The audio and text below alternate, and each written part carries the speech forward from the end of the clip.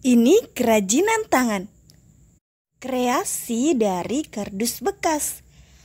Yaitu bagaimana cara membuat hiasan dinding dari bunga flanel dan kardus bekas. Yuk kita bikin. Ini bukan karya anak SD ya. Sebelum videonya dimulai, jangan lupa tekan tombol merah yang ada di bawah guys. Tulisannya subscribe. Dan jangan lupa juga tekan tombol loncengnya ya. Saya hitung sampai tiga. Satu, tiga, empat, eh. Salah ya? Gimana sih saya? Lagi ya. Satu, dua, tiga. Oke. Makasih guys. Oh iya, jangan lupa tekan tombol like, share, komen juga ya. Oke, makasih. Yuk kita mulai. Halo crafter. Di video kali ini Gri Aksesoris mau bikin hiasan dinding lagi nih. Kerajinan tangan kreasi dari kardus bekas yaitu bagaimana cara membuat hiasan dinding bunga flanel dan kardus bekas. Bentuk nanas seperti ini. Penasaran kan gimana cara buatnya? Yuk kita tonton, tonton sampai habis. Kalau nongol iklan, jangan di skip ya, please. Hmm.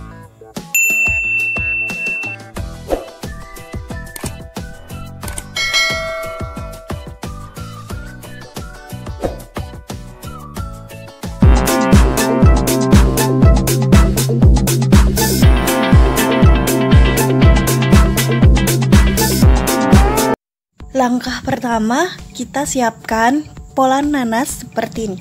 Untuk ukurannya bisa sesuai disesuaikan masing-masing ya, sesuai selera. Saya pakai ukuran 23,5 cm untuk panjangnya dan lebarnya sekitar 14 cm. Gede ya teman-teman lumayan. Kemudian ini buku gambar bisa dilihat ya. Saya akan menjiplak pola pada buku gambarnya digunting. Dan ini hasilnya. Saya mempunyai dua pola nanas dari buku gambar dan satu pola nanas dari kardus bekas. Masih menggunakan kardus bekas tegelas, bukan sponsor ya. Hmm. Oke, okay. ini uh, apa namanya krayon ya? Merek Titi itu ada harganya. Oke, okay, sekarang saya mau menggambar uh, salah, memulas pola nanas ini dengan krayon warna hijau. Ceritanya ini daunnya nanas ya, warnanya hijau dipulas. Uh, maaf guys, sebenarnya saya ini memulasnya masih amatiran. Harusnya tadi saya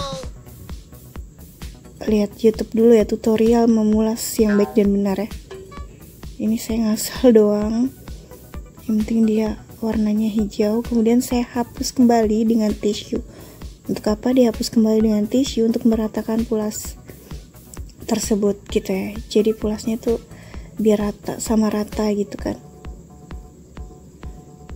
Kayak pakai cat gitu loh dihapus. Berharap pulasnya rapih oke cukup kayak gitu aja. Sekarang kita mau bikin garis dari krayon warna kuning garis-garis nanas gitu ya biar orang-orang tahu ini bentuk nanas bukan apel. Hmm, oke okay, kita bikin garisnya. Menggarisnya itu nggak pakai pola nggak pakai ukuran. Yang penting dia kayak gitulah. Dikira-kira aja yang penting rapi. Digarisin pakai penggaris kayak gitu.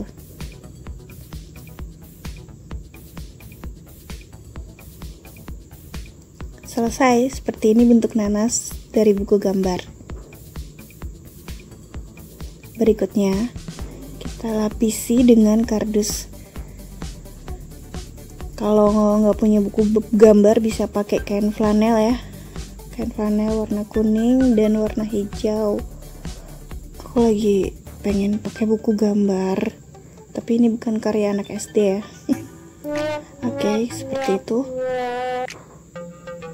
Kemudian kita balik dan bagian belakangnya aku coba rapikan untuk menutupinya dengan buku gambar lagi. Kalau ini lagi bikin cantelannya ya teman-teman. Pakai tali kur warna putih seperti ini diberi lem lagi secara merata dan tekan-tekan biar merekat lebih kuat. Oke. Okay. kita rapikan bagian yang belum rapi digunting-gunting biar tampak rapi kembali gitu kan. Pakai lem kertas juga bisa ya. Kalau pakai buku gambar nggak perlu pakai lem tembak. Kalau kalian punya lem kertas bisa kali ini saya nggak punya lem kertas jadi pakai lem tembak. Ini tali kur warna pink untuk menutupi pinggirannya yang belum rapi seperti ini. Dilapisi dengan tali kur. Gini nah bagian belakang itu pola nanasnya kurang rapi teman-teman punya. Kalau punya saya nggak apa-apa ya. Kan untuk di bagian belakang yang penting depannya rapi ya. Jangan jangan ditiru oke okay, terus kita lem mengelilingi nanasnya sampai terpenuhi sampai habis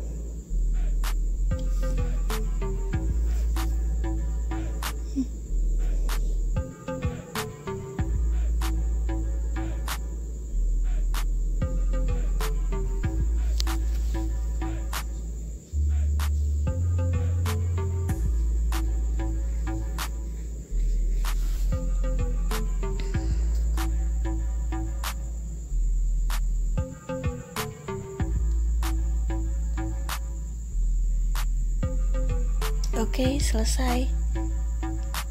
Supaya nggak berudul bisa kita bakar tali kurnya ya, teman-teman.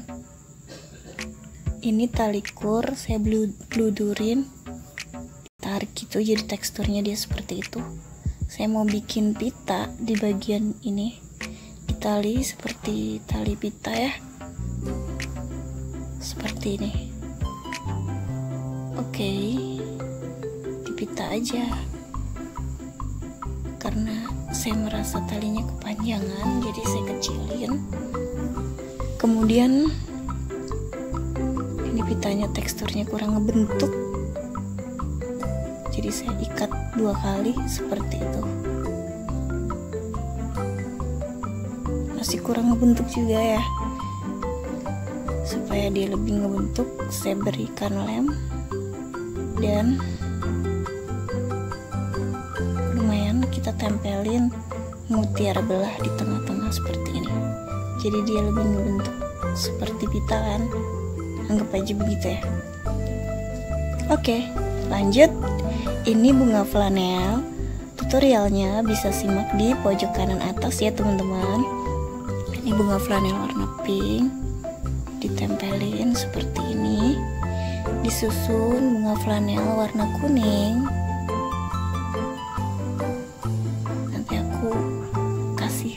pojok kanan atas tentang ketiga bunga tersebut. Dan yang terakhir adalah bunga warna hijau olive. Tempelin seperti ini.